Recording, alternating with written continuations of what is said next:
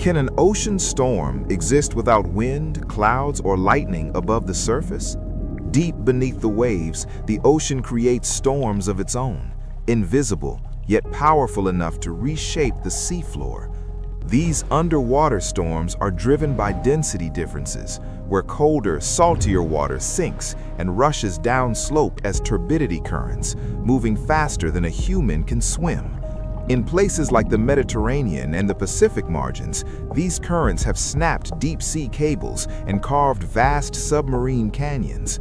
Another form appears as internal waves, towering walls of moving water that travel along invisible boundaries between warm and cold layers, rising and collapsing like underwater hurricanes. Marine life feels these storms first as oxygen shifts, sediments rise, and ecosystems are briefly thrown into chaos.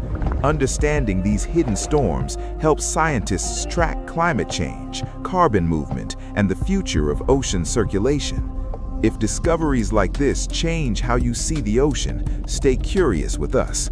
Like, subscribe, share your ideas, and leave a comment.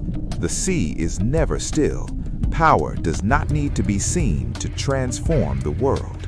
Chronicles of the Curious Earth, where curiosity becomes cinema.